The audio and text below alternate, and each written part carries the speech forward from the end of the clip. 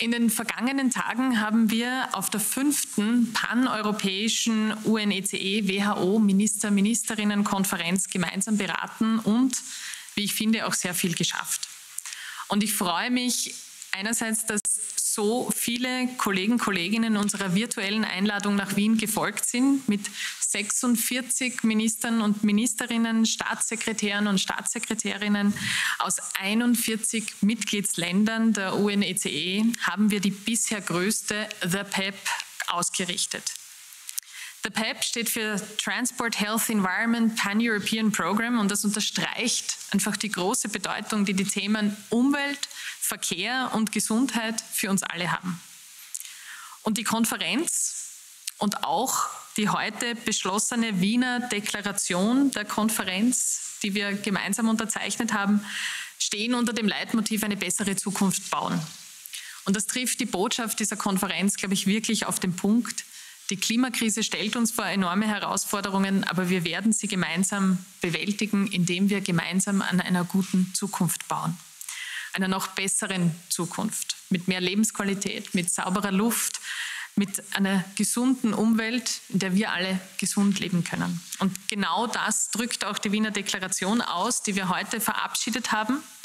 Und mit ihr haben wir auch, das ist ein Meilenstein, heute erstmals einen gemeinsamen paneuropäischen Masterplan zur Förderung des Radfahrens beschlossen. Auf Initiative von Frankreich und Österreich haben wir dabei festgelegt, dass wir bis 2030 die gefahrenen Radkilometer in der europäischen Region verdoppeln wollen.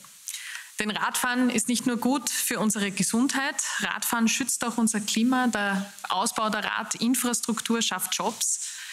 Ein Win-Win für Klima, Gesundheit, für unsere Wirtschaft. Und dieser gemeinsame Beschluss, das ist wirklich das erste Mal, dass ein derartiger Masterplan paneuropäisch vorliegt, ist wirklich ein Meilenstein. Österreich wird sich selbstverständlich auch an der Umsetzung dieses Beschlusses aktiv beteiligen, all der Beschlüsse der Konferenz.